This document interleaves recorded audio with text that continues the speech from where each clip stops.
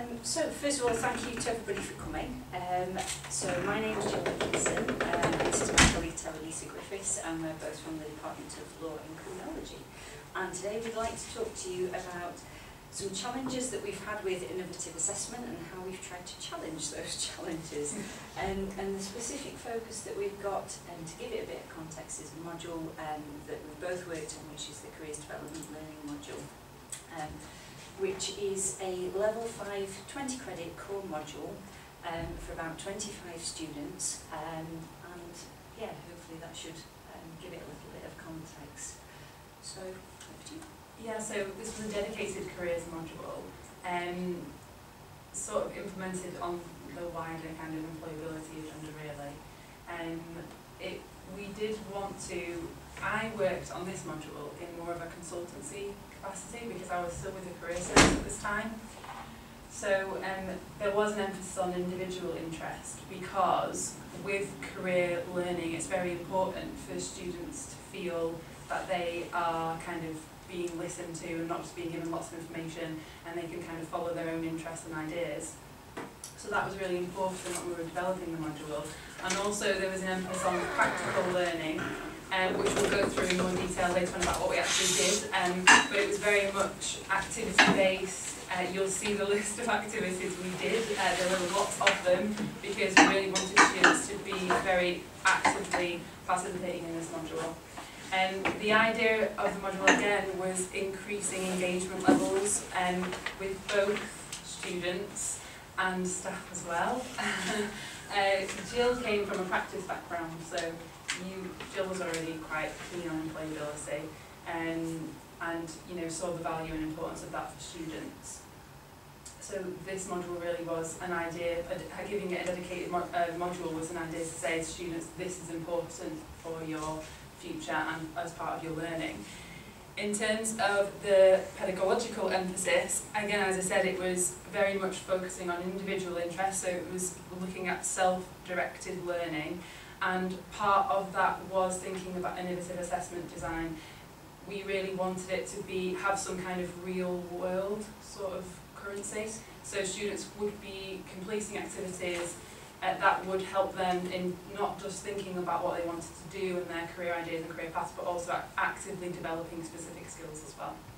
So Jill's going to tell you a little bit more about what we actually did. Yeah, what we did, we actually, we did a, quite a lot. yes. I joined Hallam in the January and was given um, basically a handout probably about the size of that with a module descriptor on saying that needs to happen in September. So it was all very exciting but also quite busy. Um, so on there we've got formative and summative assessment opportunities. Maybe if I talk about the summative first and you can see how the formative fits in. So um, the summative assessment opportunities, there were um, two pieces of assessment. First of all, a research project that they completed after the end of semester and they had to draw a formal report um, into a career of their choice basically um, looking at that particular career, the pathway, the pathways into that, the skills, the experience that people were looking for. So immediately the hope was to get them engaged um, with a specific career. Then the second bit of the assessment, so these bits here, were um, handed in at the end of semester two and basically um, comprised a portfolio. Um, the portfolio was submitted online in the first year that the module one, so through Pebble Pad, which some of you probably come um, which brought with it some interesting challenges, um, which we'll talk about later. Um, but yeah, so that, that was the summative element, but we also thought it would be quite helpful throughout the module to incorporate some formative assessment opportunities as well. So things what we did here, um, the top one, the practice interview, Lisa divided up students and we asked them to come up with a job um, advert of their choice. They brought that job advert into us and we then did a formal mock interview with them. And what was great is we could provide them with feedback straight away and it put them into that formal setting. Um, and also, these students in level um, 5 were at a time when they were having to do this kind of thing in practice. So it gave them the opportunity to practice in a, a more safe environment.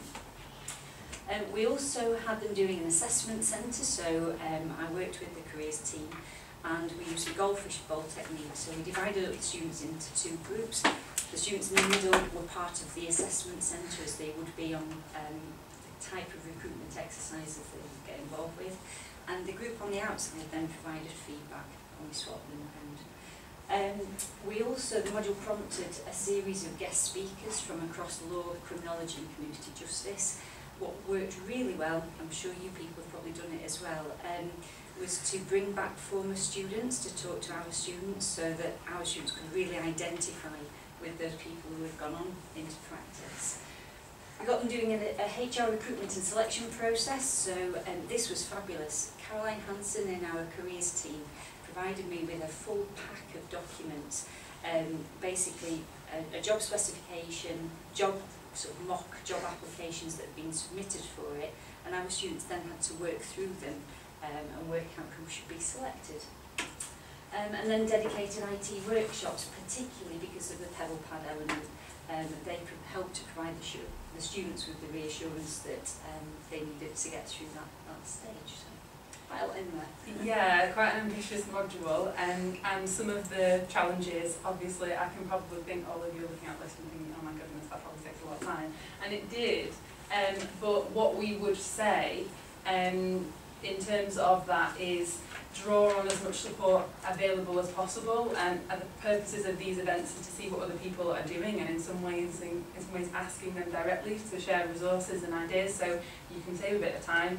And as Jill has said a couple of times now she actively approached the career service and said what do you already have? What's already available? And that did help to reduce things a little bit in terms of the things like practice interviews that obviously took a lot of time there weren't that many students in the module, it was fairly small. How many students were there? About 25. Yeah. About 25 students, so it was manageable, but it did take a lot of time. So something that ambitious might not be possible for modules where there's a high number of students. But what we would say is just do things in a small way. So if you are keen on changing um, your assessment practice, assessment process, do things in bite-sized chunks. So, you know, try and change some element maybe of formative tasks at, at first as sort of a starting point and try and build on it from there.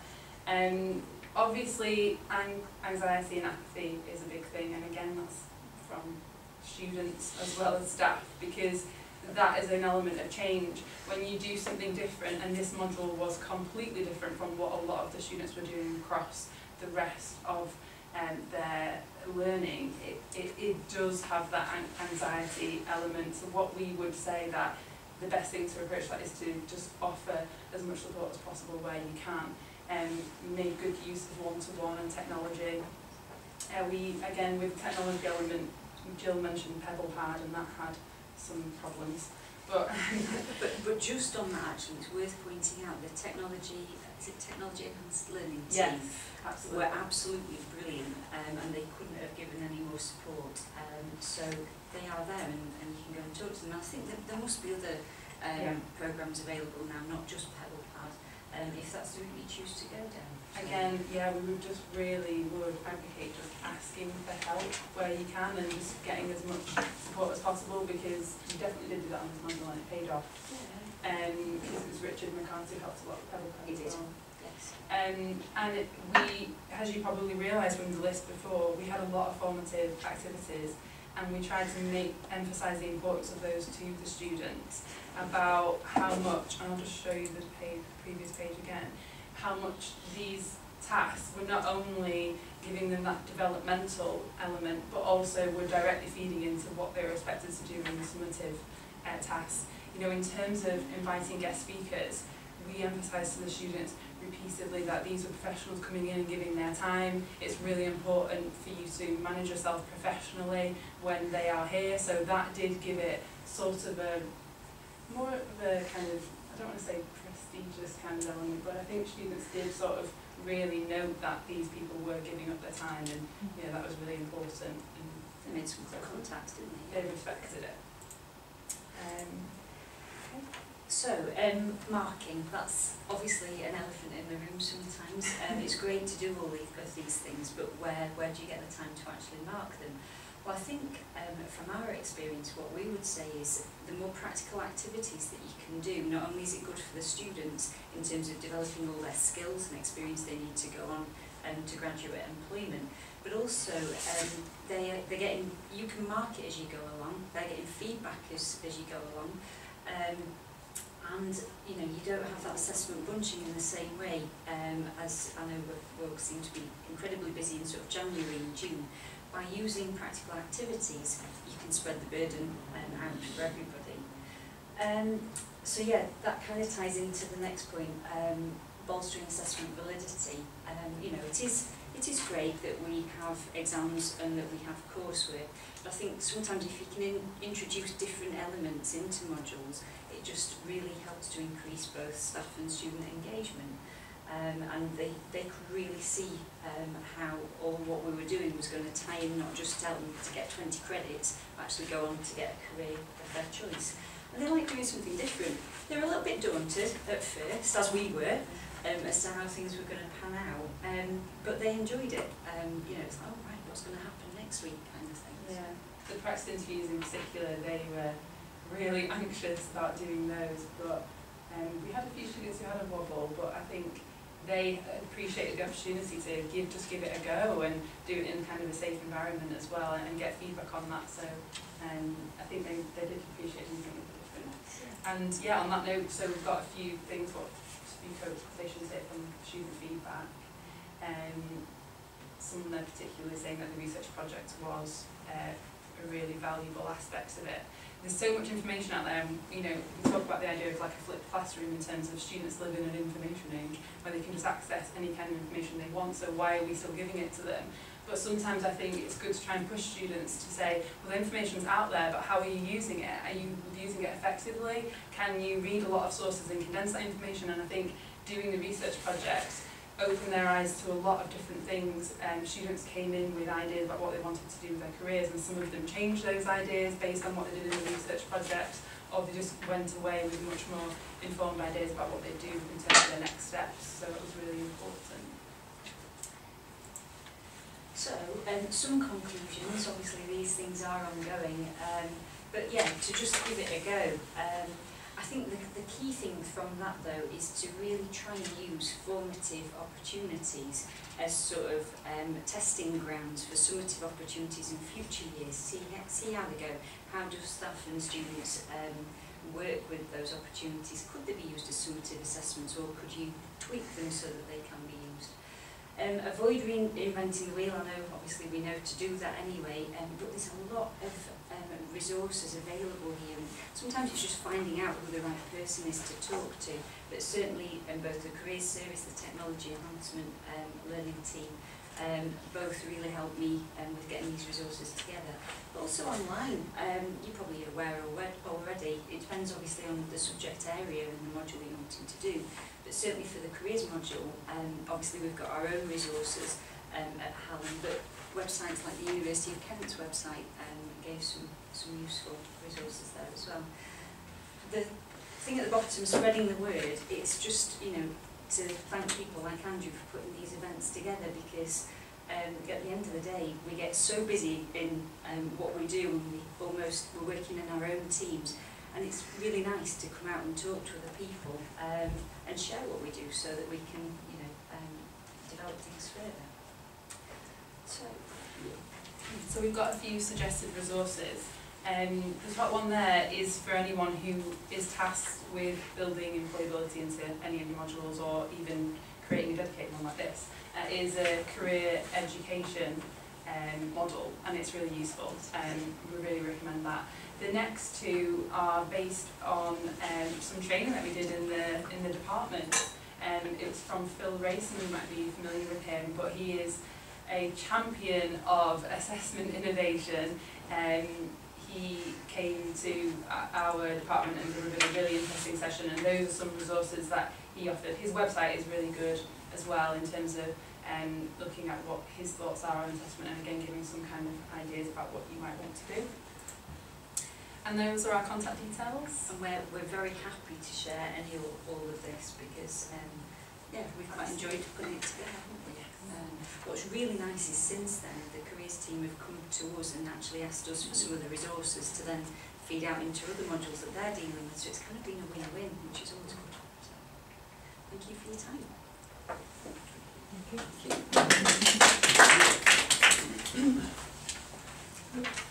Um, yeah, that's really interesting. Um, I'm in the education, Department of Education, Childhood and Inclusion, so we've done placement for years, but in the last two years in a new course, we've tried to make the placement module uh, much more explicitly linked to assessing employability, which we didn't really before, and very similar to this. Ah. So I just have a couple of questions really. I mean, an observation and a question.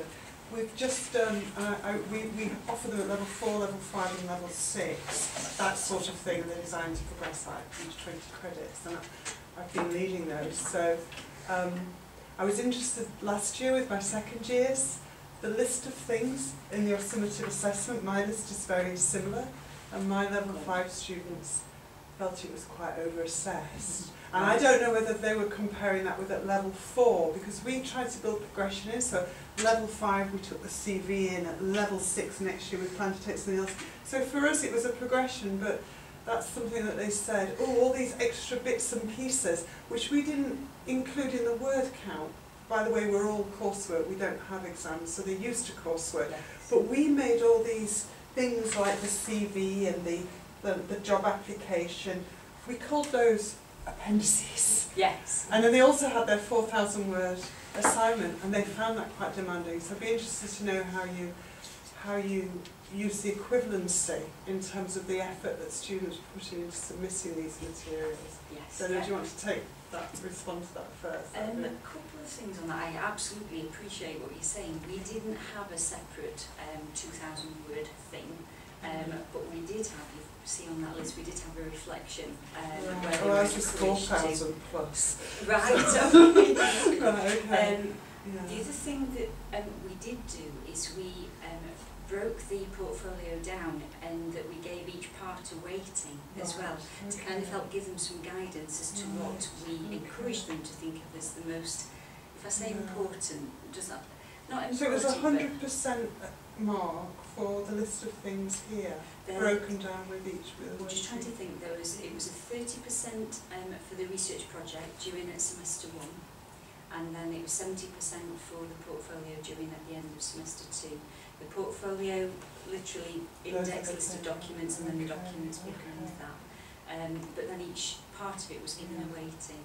Um, so Sorry, can I just ask a supplementary, because I was wondering when you asked, when you were referring to the research project, this is not the same as the final dissertation, this is another, this is a research project that you set up for the purpose of this module, nothing at all to do with the, The research project big- was on a specific job that they were Oh, interested in, so they okay. picked a job title, and that could be anything, and we didn't even give them, we didn't give Right. guidance about, a, you know, select from a list, they could literally pick anything. just so then they could build on the rest of their portfolio documents on that mm. specific role. and how many words was the research project out of interest? I you was trying to think, probably about two, something like mm, that. I'd have to check. okay, that's interesting, you.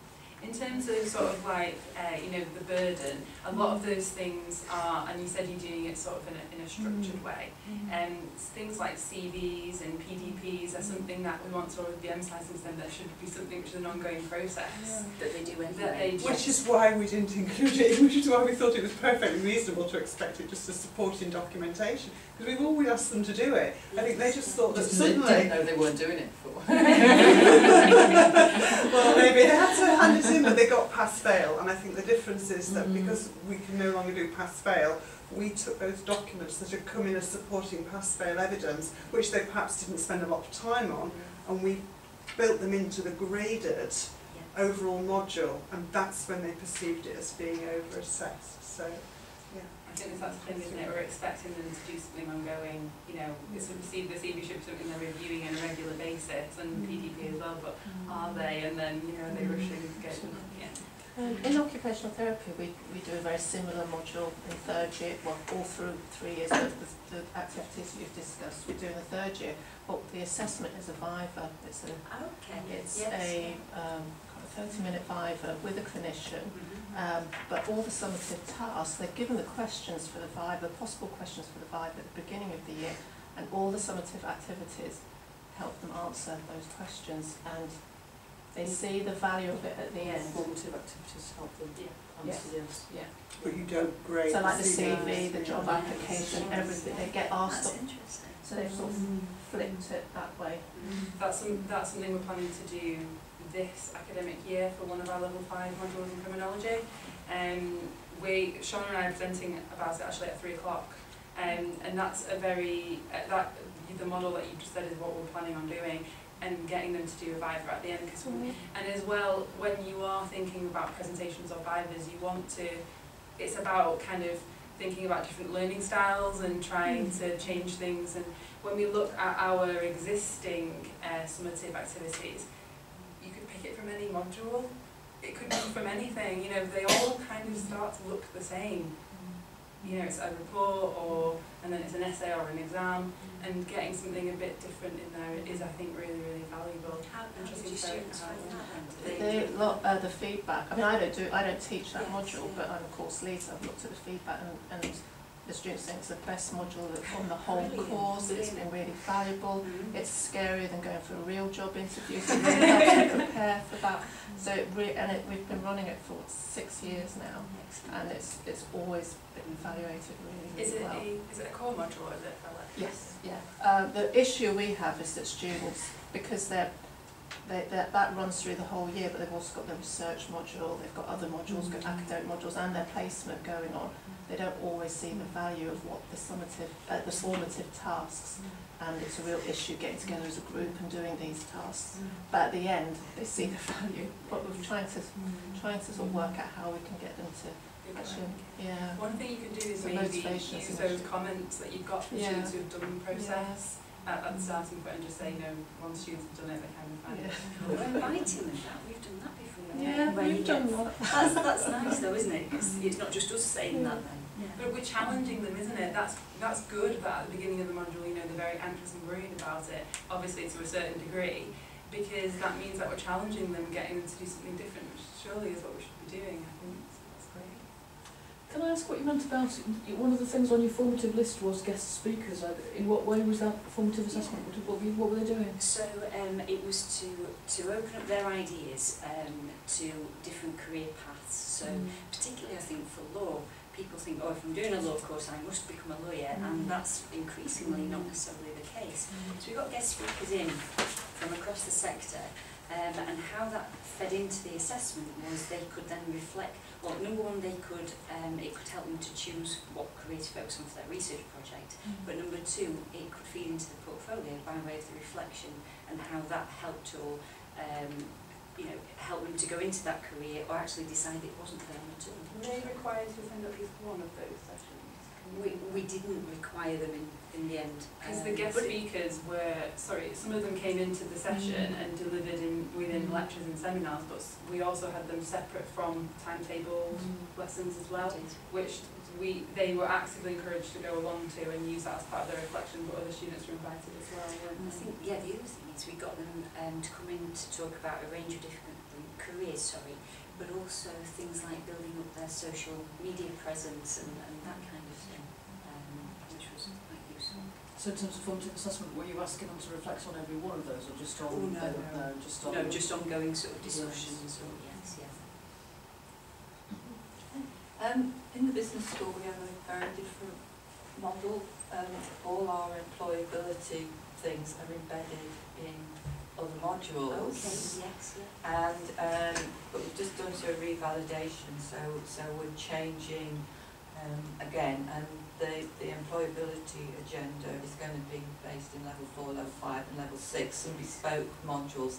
The hours for employability, uh, are in, in, in that.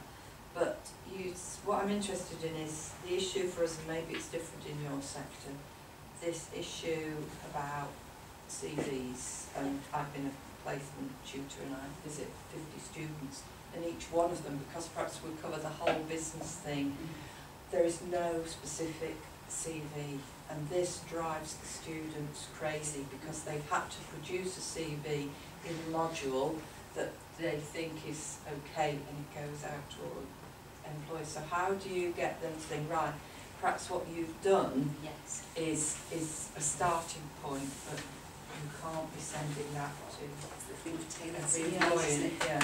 One thing we always talk about in terms of CVs is trying to think of a CV as part of a conversation. And what I would say to students is, if you send a, a just a standard every sent CV to an employer, it's like someone asks you a question and you just give them a completely unrelated answer. Mm. Um, one thing that I also um, utilised CVs for for criminology students was trying to get them to see their CV as a process of reflection. So whether you can get them to either use their CV as supplementary to any process of reflection that you do in the module as a sort of a guidance point, um, or even get them to write reflectively within a CV, so it's a longer document, one that you would never send off to an employer. It kind of gets them to think of it as more about my CV is a point in time. It's not something which I can say I'll write a CV as level five and that will be exactly the same as level six. You know, it's something as, a, as an ongoing conversation, but it's about you. It's your story, if you like. There is um, there is a um, a project, a research project which was done. It was with asylum seeker clients called, and it's the concept of a life CV. Um, and if I'll need, I'll need to find it, I'll circulate it to anyone who's interested. But the project was getting asylum seekers to think about their existing skills in a different way and relating it to the employment market. But it is a good chance for us to have a look and see where we can use CVs with students as more of a reflective process rather than a document you might send to an employer. Um, but yeah, I mean, like I say, just getting them to understand the importance of tailoring CV and that analogy always works well. You know, if I ask you a question and you give me an answer which is completely unrelated, that's what you're doing if you're just sending off a standard CV to an Well, employer. we tried to as well, because we've got them doing the job applications for a specific job advert. We're trying to get them to tailor their that. CV. Yeah. Yes. Yeah. Yeah. So they have to pick an actual job description. Yes, ours have to pick a, but we actually give them a choice. Um, Okay. they, they don't have a, have a choice because it's too wide for them. Yeah. So we give them in the, in the module guide, there's about ten different organisations they can choose from, because obviously we're teaching students that are doing bespoke things like business and HR, business marketing to general business to international. Another thing to try as well is doing a kind of a flipped approach like we did with the recruitment and selection event. So get them to be a HR person well, and yes. submit, even if they create a CV for the purposes of that activity, and get them to share it amongst each other, some kind of peer feedback and peer review can work really well, as well as kind of seeing it from the perspective of an employer. We used to do that a hundred years ago, but that was smaller numbers, um, and, and we had some of the students were the interviewers, some of them were the things that the tutor was sat in, but with our numbers, because it's, it's in a core module, we can't, we can't do. And, and the student loved that, and you Yeah. think, Yeah. you know, especially because ours go out at the end of level five on a year's placement, it would really, really help them, but Yes, yeah. Was too cost, it was not cost effective. Just a top tip really, the University of Oxford Career Service is phenomenal. If you go online, they have formats, templates of different types, different generic, different types of CV uh, for different purposes, and it's they're fantastic resources. And we ran a whole workshop on it where the students looked and we discussed. Education used to be standard, but nowadays not all my students are going into teaching. You know, they're they're going for different sectors. So it was very good at triggering a discussion about uh, which one's the most appropriate and. Then the students uh, developed theirs and we workshop them and they shared and it worked really, really well. So you wouldn't have thought the University of Oxford would have put a lot of resource into their careers support service, but they have. So, yeah. I've been, I've been to their career service and it's not a on our building. but um, on that note as well, again, Jill mentioned it, but the University of Kent is another one. Some universities do have uh, open access resources and yeah, where, wherever you can share those is And just have a critical conversation with students so that instead of just producing Yes. these things, they're actually thinking critically about how they want to represent themselves. Yeah. What I would also say as well, if there are initiatives like that that you did in the past and you can't do any longer because of student numbers, it might be worth having a conversation with your faculty employment advisor from the career service and see if maybe the career service have a capacity to offer that service as maybe an optional thing for students who sign up for it. That extra support. Yeah. Go on then, so what are the problems with Pebble Pad? Oh, nothing. It's fantastic. Is it, It was, the students were brand new to it, um, Yeah. and um, I think sometimes sometimes we assume that a lot of students, with how much everything is online now, we assume that they're all going to be sort of up to speed with that, and so Richard's support sessions on that were absolutely invaluable. Um, it was, I'm just trying to think, it was um, not the easiest thing to mark, but again, maybe that's because I used to be a lawyer and I like stuff, hard copy stuff. Um, I, I found it quite time consuming um, and you know, I, for me, I'd much prefer a portfolio of documents and I can see it, I know I've got it, the internet's not going to crash out on me or whatever. Um, but if you are interested, do speak to um, either, I mean, Richard McCarter, Julian Ryan, because I mean, this is a couple of years ago now, there's probably PebblePad Plus, there's probably new versions, and I bet there's other software that they're, they're encouraging. And with online feedback and assessment coming in, you Absolutely. can't have documents. No, yes. Okay, so nothing major then, just kind of getting used to it for you and the students, which Yeah. is, to be fair. And which is going to happen It's, I think it's important to say as well, sometimes the usability Yeah. isn't great in terms of, it's not, there, there's lots of different ways to do different things, but it's not that obvious, and it's hard to kind of find certain things in it. It's Just very used different to Word, so Yes. students uh, Yeah. struggle with it. But What what we've learned is that don't give students a choice. So I used to give them a choice, Yeah. uh, use Pebble or do paper, they would do paper. But if you don't, if they don't have a choice and have to assess, their assess through Pebble Pad, they can work through that barrier. Absolutely. Thank you. Thank you. Thank you. Thanks. I know it's seven like um, separate rooms. Oh, okay.